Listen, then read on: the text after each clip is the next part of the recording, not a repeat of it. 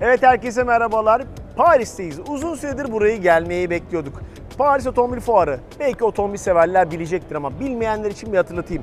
Eskiden her sene birer sene aralıklı. Öncelikle Frankfurt olurdu, ertesi sene Paris olurdu. Frankfurt olurdu, Paris olurdu. Şimdi Frankfurt Fuarı Münih'e taşındı. Paris Fuarı da 4 sene sonra kapılarını açtı. Paris Otomobil Fuarı isminden de anlaşılacağı gibi Fransız markaların ağırlıklı olduğu bir fuara dönüştü. Çünkü eskiden böyle değildi. Almanlar Almanya'ya gidiyorlar. Fransızlar buraya geliyorlar. Cenevre Otomobil Fuarı'na da herkes gidiyor. Şimdi sizi beni davet etmiş olan Peugeot'un standını gezdirmeyle fuara başlatalım. Bu görmüş olduğunuz bu karenin içerisindeki 408 yeni. Gelecek ayda bu otomobili kullanacağız. Şimdi hemen böyle bir ters dönüyorum. Bunu çok beğendim. Bunu göstereceğim size. 9X8 konsepti. Ve çok enteresan bir şey almış Peugeot ekibi. Le Mans otomobillerinde genelde burada bir tane kanat olur. Burada diyor ki we don't want the rear wing. Yani bizim arka kanata ihtiyacımız yok. Peugeot neler yapıyor bunu göreceğiz. Şimdi 508 beğeniyoruz. Ama esas hikaye burada bu sene 408. Fastback bir 408 ile karşı karşıya olacağız birazdan. Tabii artık otomobil markaları çözümler üretiyorlar. İşte biliyorsunuz Peugeot'un artık motosikletleri de vardı ve bu iş daha iyi bir boyuta gidiyor. Şimdi hani biz diyoruz ya elektrifikasyon zor oldu be söyleyemedim. Elektrifikasyon. İşte burada 208 elektrikli. Yani bundan sonra B segmentinde Peugeot'un çok daha kuvvetli olacağı bir elektrikli otomobil var. Peugeot Türkiye Genel Müdürü Gülün Reyhanoğlu'ndan aldığım bilgilere göre 408 senenin ilk 3. ayında, ilk çeyreğinde 208 elektrikli senenin sonuna doğru Türkiye'de olması bekleniyor. Biliyorsunuz PSA grubu çok fazla marka barındırıyor. Dolayısıyla bunlardan bir tanesi de hemen arkamda. Şimdi sizi bu kalabalığı da görüyorsunuz. 408'i göstereceğim size. Tasarım yönünden hakikaten çok beğendim çünkü bu fastback otomobillerin tasarımları çok e, çekici geliyor bana. Bazı insanlar SUV'leri severler, bazıları ben mesela station'ları severim ama fastback'leri de beğeniyorum. Bugün Peugeot'un üst düzey yöneticilerinden önemli bir isimle röportaj da yaptım. Sordum. Bundan sonra Peugeot daha çok fastback'e mi gidecek dedim. Hayır dedi. SUV'ye olan talep artmaya devam edecek. Dikkat edin SUV'ler düşmeyecek diyor. Ama fastback'ler de bundan sonra hayatımızda daha çok olacak. Şimdi Peugeot tarafıyla ilgili birazcık daha bilgi vereyim size. Hakikaten Türkiye'de işler çok iyi gidiyor. Özellikle SUV tarafında işler yükselmeye devam ediyor. Ama şimdi arkamda görmüş olduğunuz 208 mesela hem %10'luk bir şarj kapasitesi hem de %15'e yakın menzille birlikte geliyor. Yani teknoloji de gelişiyor. Otomobillerin batarya ömürleri uzuyor. Bunun yanı sıra biliyorsunuz pil ömürleriyle ilgili kafalarda soru işaretleri vardı. Eskiden derlerdi ki bu otomobillerde pil bittiği zaman ne yapacak? Çöpe mi atacağız? Öyle olmuyor. Artık o bataryaların içerisinde ölü olan bataryaları çıkartıp yerine bataryaları yükler. Dolayısıyla maliyetler çok daha düşük ve otomobillerin ömürleri uzun oluyor. Paris Otomobil Fuarı'nda bugün aslında birkaç tane markayı hedefledim. Birkaç tane Çinli marka var ama özellikle Fransız markaları gezeceğiz. Ama baştan Peugeot ile başlayalım istedik. Hakikaten Peugeot e, sıkı işler yapmış. Gelecek ayda bu otomobili kullanmaya gideceğim. Heyecanla bekliyorum. Paris Otomobil Fuarı devam ediyor.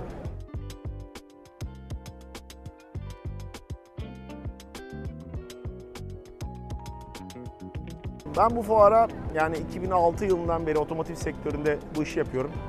Ee, herhalde belki bir iki kere kaçırmış, hepsinde gelmişimdir. Hiç yerleri böyle görmemiştim. Yani fuarların artık e, herhalde yavaş yavaş bittiğinin simgelerinden bir tanesi. Buralar böyle çok güzel, buradaki gibi böyle halı flexler, şunlar bunlar olurdu. Çok fazla marka olurdu. Artık biraz kısıtlı. Önce öyle bir e, geçmişe geri dönelim. Bu da Peugeot 9X konsept. E, hibrit. Peugeot'un aslında ne yaptığını bir yandan da gösteriyor. Dolayısıyla hem tasarım hem teknolojinin otomotiv sektöründe e, özellikle motor sporlarıyla nasıl harmanlandığını da buradan görebiliyoruz. Evet az önce Macron da geldi Peugeot standına. Biraz stand kalabalıklaştı. Stand sakinleşince de otomobilleri çekmek istedim size. Hemen artık burada fuarın en dikkat çeken tasarımlarından bir tanesi karşımda. Ama esas otomobil burada. İşte karşınızda Peugeot 408 bu karenin içerisinde dönecek gün boyu ama e, sol tarafta yani hemen tam şurada kendisini göreceğiz. Bu bir evente özel, Paris Otomobil Fuarı'na özel hazırlanmış e, 2023'ü Türkiye'de de olacağını söylemekte fayda var. 408'in fastback tasarımı var. Hatta şöyle şöyle size bir standı komple gezdireyim. Hemen burada 508 var. Biliyorsunuz artık elektrikli mobility çözümlerinde böyle motosikletler çok elzem bir halde, çok önemli. Görüyorsunuz elektrikli şarj üniteleri her yerde artık sergilenir halde. Tanıdık modellerden biri diyeceğim ama 208'in görmediğiniz galiba. Elektrikli 208. Evet 408'in birazcık daha detaylarına e, hakim oldum. O yüzden size bunları aktaracağım. E, iki tane motor seçeneği var. 1.6 litre olmak üzere. Benzinli motor tabii bunlar. Bir tanesi 180 beygir güç üretiyor. Bir tanesi de 225 beygir. Arkamda görmüş olduğunuz gibi otomobil güç üretiyor. E, plug-in hibrit yani dışarıdan şarj edilebilir hibrit. Bazen kafalarda hibrit soru işareti yaratıyor. Tam elektrikli mi diye soruluyor. İşte mild hibrit ne diye soruluyor. Şarj edilebilir hibrit ne diye soruluyor. Bu dışarıdan prize takıp şarj ettiğiniz yaklaşık 55-60 kilometre size menzil sunabilen bir şarjdan bahsediyorum. 12.4 kWh'lik bir e, küçük batarya var otomobilde. 62 kilometrelik bir menzilden bahsediyoruz. Hiç yabana atmayın. Benim günlük e, otomobille baktım geçen gün 25-30 kilometreyi geçmiyor kullanımım. Dolayısıyla bu 62 kilometre sizin tam anlamıyla işinize yarayacaktır. Birkaç detay daha vereyim size. 3.7 kahvalık şarj ile 3 saat 50 dakikada 7.4 kahvalık AC Wallbox şarj ile 2 saatte şarj olabiliyor. Standart prize takarsınız evinizdeki yaklaşık 7,5 saatte falan bu otomobili şarj edebiliyorsunuz. 1.2 litre tüketiyor. Düşünüyor musunuz? Benzinli otomobil 1.2 litre ortalama yakıt tüketimine sahip. Dolayısıyla hakikaten çok avantajlı, efektif. Plug-in hibritleri her zaman çok seviyorum. Bazen kafanızda elektrikli otomobillere geçme ile ilgili soru işareti olabilir ama plug-in hibrit gerçekten çok iyi bir çözüm. Çünkü hem benzinli motorunuz var hem de dışarıdan şarj edebiliyorsunuz. Arzu ederseniz hiç şarj etmeyin. Benzin sizin. Parayı cepten gider. Birazcık daha size bilgi vereyim. MP2 diye bir modüler platform var biliyorsunuz. Otomobiller platformlar üzerinden şekilleniyor ki onu göstermiştim size. Bu platformu biraz uzatıyorlar, biraz kısaltıyorlar. Otomobiller, farklı otomobiller çıkıyor. İşte SUV de buradan çıkıyor. İşte fastback bir otomobil de buradan çıkıyor. Dolayısıyla e, otomobilin aynı platformda olduğunu söyleyeyim. 4690 mm uzunluğunda yaklaşık 4.7 metre. Hiç küçük sayılmaz. 1490 milimetre yüksekliği var yaklaşık 1,5 metre ve 2787 milimetrelik dingil mesafesi var. Bu da arkada oldukça bol, e, geniş oturma alanı sağlıyor. Oldukça güzel. İç mekanda bolca donanım olduğunu söyleyeyim. Bunları söylemeyeceğim. Multimedya falan bunları artık hepimiz biliyoruz. Artık Apple CarPlay olmayan otomobil, Android Auto olmayan otomobil kalmadı. Dolayısıyla e, bunların olacağını söyleyeyim. Şimdi bu tarafa dönecek olursak Peugeot E208 2023'ün sonuna doğru Türkiye'ye gelecek. Belki birazcık daha erken gelebilir. E, 136 beygir, 156 beygire çıkmış. Dolayısıyla otomobil artık daha kuvvetli. 0-100 km hızlanması 8.1 saniye. 400 km bir menzili var. 51 kWh'lık e, pil hücreleri var. Dolayısıyla işimize yarayacak kadar bize menzil sunuyor. Fabrika verilerine göre 12 kWh'lık bir elektrik sarfiyatı ya da tüketiminin olduğunu söylemekte fayda var. Son bir notlarıma da bakıyorum. 3 fazla 11 kWh'lık versiyon isteğe bağlı olarak satılıyor. 100 kWh'lık şarj kapasitesi de 218 E208'in şarj süresini 25 dakikada %20'den 80'e çıkartıyor. Yani şöyle söyleyeyim. Siz gittiniz bir kahve içtiniz. O arada otomobilin şarjı 20'den 80'e çıkıyor. Teknoloji çok hızlı gelişiyor. İki tane güzel otomobille birlikteydik. Devam ediyoruz. Evet Peugeot standının hemen yanında Jeep standı var. Avenger. Ee, burada perdesi kalkmamış otomobiller de var. Bunların hepsini gün içerisinde göreceğiz. Fuarda nerede bir kalabalık varsa anlayın orada bir basın toplantısı var. Fuarda kalabalığın e, sebebini gördük. Peugeot ailesinin isim babası. Hemen DS standına geldik. DS3 karşımda. Şöyle birazcık daha ilerleyelim.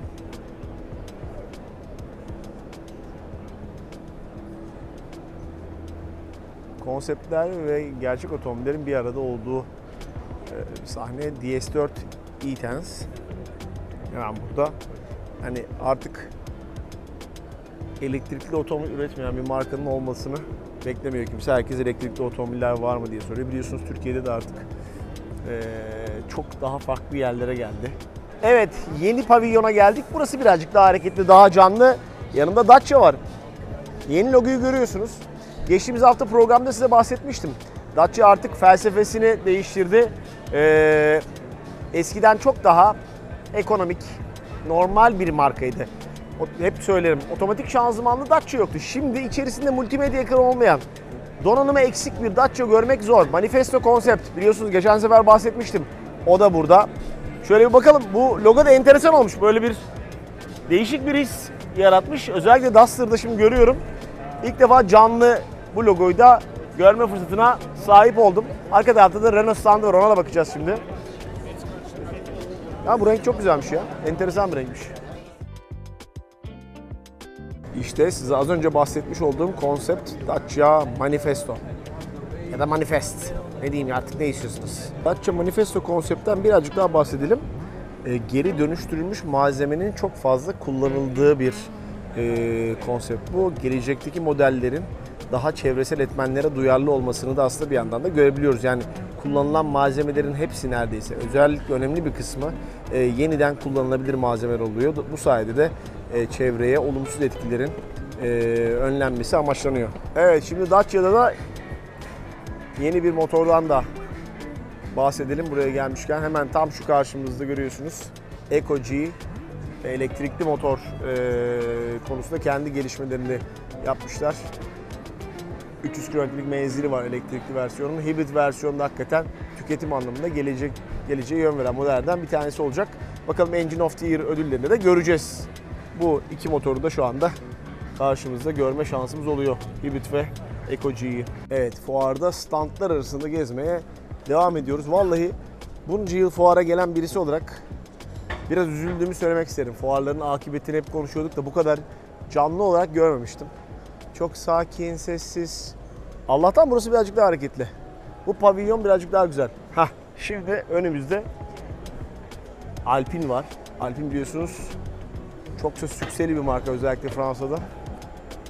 Türkiye'de de bu otomobilin yani bunda değil tabii de yol versiyonuyla şu hemen arkamda gördüğüm beyaz versiyonuyla köprüyü de geçmiştik biz. Çanakkale Köprüsü'nü. Bu pavilyonda bakalım neler var, neler göreceğiz. Özellikle Renault'un standını merak ediyorum. Hep beraber oraya doğru gidelim. Evet hatırlıyorsunuz Renault Astra lansmanına gitmiştim. Ön gösterimde henüz otomobili kullanamadım. Şimdi bakar mısınız otomobil kendini de geliştirmiş ve hiç karşımıza çıkmış. Renault fuarı daha doğrusu Renault standı fuarın en cafcaflı birkaç standından bir tanesi. Konseptler var. Şöyle size göstereyim. Yani Renault'un gelecekte ne yapacağını gösteriyor. Bu arada belki hatırlayacaksınızdır. Renault Renaulution adında bir eee, bilgi yayınladı. Yani Renault'un geleceğinin nasıl olacağını, daha multimedyaya duyarlı, telefonlara uyumlu, çevreye duyarlı, tasarım yönünden gelişmiş ve yeni bir marka olacak Renault. Eski bildiğiniz Renault şeyini kafanızdan silin.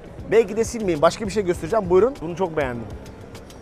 Böyle size eski Renault'lardan çok fazla şey çağrıştırmıyor mu? Evet. Ama oradan buraya geliyorsunuz.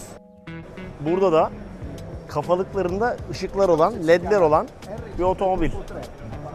Yani şuna bakıyorum Renault 5'in yanında bunu görmek çok enteresan. Bu arada yanında da Megane E-Tech var. Türkiye'de uzun süredir beklenen çok fazla satacağına emin olduğum, tahmin etmiyorum, emin olduğum modellerden bir tanesi ama şuna yakından bir bakmak istiyorum. Yani hakikaten çok güzel. Gördüğünüz gibi otomobile fazla yaklaşmak da yasak o yüzden böyle heyecanınızı dizginlemeniz gerekiyor. Şimdi yan tarafta da aslına bakarsanız Renault'un elektrikli otomobil ailesinin ticariye de dokunmuş hali var. Üzerinde e, bisikletleri de görebiliyorsunuz. Dolayısıyla hani Renault artık çok fazla şeye e, gebe bir marka. Şu konsepti de şöyle bir kere de arkadan görmek istemez misiniz? Çok güzel güzel böyle bir, bir böcek otomobiller derlerdi ya buggy. İşte bu. Renault standı güzel. Hoşuma giden şeylerden bir tanesi. Ya bir yandan otomobilin kapısı yok ama otomobilin içindeki tüm detayları burada görebilme şansınız oluyor. Tamamen hibrit konsepti üzerine çalışmış Renault burada hemen onun bir hemen yanında e, elektrikli bir otomobilin platformunu da görebiliyorsunuz. Otomobiller aslında o platform dediğim şeyden üretiliyor. İşte bu da omurgası diye tabir edebiliriz. Elektrikli bir e, versiyonun platform. Bunun yanı sıra burada da gördüğünüz gibi otomobilin kapısız halini görebiliyorsunuz. Az önce bahsettiğim Kangoo. Bakar mısınız? Çok güzel değil mi? Bu arada yine Austral önümdeyken birazcık daha detay göstereyim istedim size. Yani bu otomobil hakikaten Türkiye geldikten sonra çok iş yapacak gibi geliyor buna. Özellikle bu E-Tech Hybrid ile birlikte hakikaten e, kompakt SUV segmentinde çok sıkı bir rekabetin olduğu segmentte güzel işler yapacağını tahmin ediyorum. Yani tasarım çizgileri de hakikaten e, canlı, keyifli, güzel. Bu arada bu rengi de çok beğendiğimi söyleyeyim. Jantlar da güzel. Bir kere daha buradan e, Kangoo E-Tech hemen karşımızda. Onu da bir kere daha gösterip Renault standını noktalıyorum. Evet Paris Otomobil Fuarı. Biraz gözüm yaşlı. Ben bu fuara 2006-2007 yıllarından beri geliyorum. Çok kalabalık, çok şaşalı bir fuardı. Artık bundan sonra kabullenelim. Böyle fuarlar bu kadar kalabalık olmayacak. Özel modeller, özel markalar belki de herkes kendi ülkesinde birazcık daha kuvvetli olacak. İşte arkamda görmüş olduğunuz gibi Peugeot ve Renault bu fuarın en kuvvetli markalarıydılar. Renault 5 2025'te elektrikli karşımızda olacak. Arkamda Renault 5'in turbo versiyonu var. 50. yıla özel çok yakışıklı. Yani kanat tasarımına hayran oldum. Özellikle motor sporları sevenler de bu otomobilin tasarımına bayılacaklardır. All Trophy'yi de gördük çok iyi. Nihayetinde şuna geldik. Artık otomotiv sektörü daha dijital, e, daha teknolojik, sürdürülebilirlik konusunda çok fazla söz söyleyen, yeni materyaller kullanmaya çalışan ve elektrikli ve hibrit otomobillerle şekillenen bir sektör oldu. Daha fazla elektrikli otomobil göreceğiz. Ama unutmayın ki otomobil her zaman otomobildir. Sevgiyle kalın, hoşça kalın. No.